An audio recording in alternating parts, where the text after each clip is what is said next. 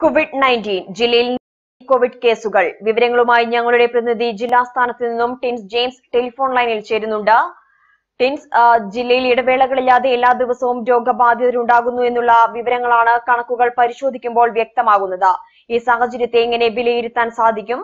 ജില്ലയിലെ ഇന്നത്തെ Covid report എപ്രകാരമാണ്? ബിൻഡ സംസ്ഥാനത്ത് ഇന്നും കോവിഡ് പ്രതിദിന നിരക്ക് ഉയർന്നു തന്നെയാണ് നിൽക്കുന്നത്. ആയിരത്തി എഴുന്നൂറ്റി അമ്പത്തെട്ട് പേർക്കാണ് ഇന്ന് കോവിഡ് നയന്റീൻ സ്ഥിരീകരിച്ചിരിക്കുന്നത്.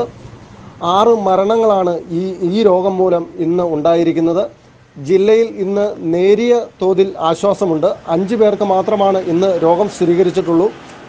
ഇതിൽ നാല് പേർക്ക് സമ്പർക്കത്തിലൂടെയാണ് രോഗം സ്ഥിരീകരിച്ചിരിക്കുന്നത്. രണ്ട് പേരുടെ ഉറവിടം വ്യക്തമല്ല.